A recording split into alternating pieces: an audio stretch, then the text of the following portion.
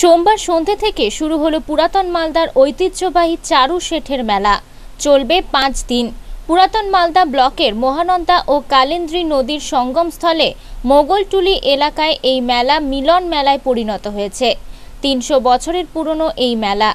এই মেলার মুখ্য আকর্ষণ রকমারি কাঠের আসবাবপত্রের বিকিকিনি। এই মেলা স্রষ্টা ছিলেন তৎকালীন জমিদার চারু শেঠ। সেই কারণে তার নামেই এই মেলার নাম। শুধু মালদা নয় ভিন জেলা থেকেও বিক্রেতা আসবাবপত্র নিয়ে মেলায় হাজির হন। নমস্কার আনন্দ বার্তায় আপনাদের স্বাগত।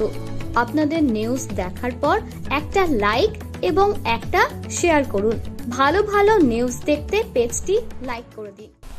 বুলবুলি চণ্ডী থেকে বিভিন্ন বিভিন্ন জায়গা থেকে আমরা আসি। এসে বিভিন্ন রকম খাট পাওয়া যায়। মেলা বলে নাম না অনেক রকমের ডিজাইন মতন খাট পাওয়া যায় মনে ভাববেন কি সস্তা না।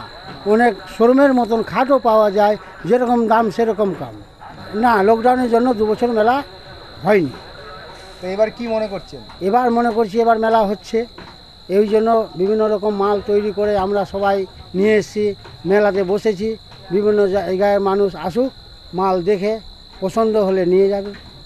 মালপত্র মালপত্র তৈরি করি বাড়িতে এসে ঘষা মাজা করে বিক্রি করি। হ্যাঁ খরিদ্দার যদি দেখে দাম দর হলো ও যদি বলে বার্নিশ করে নিব তো বার্নিশ করে দেওয়া যাবে।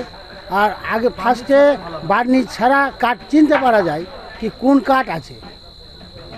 খরিদ্দার অনেক এর আগে করেছি যে মেলা মেলা ভালো হয়েছিল। থাকবে এই মেলা? সোমবার অবধি। মানে কালী পুজো? হ্যাঁ। মালদা থেকে দেবু সিংয়ের রিপোর্ট আনন্দ বার্তা।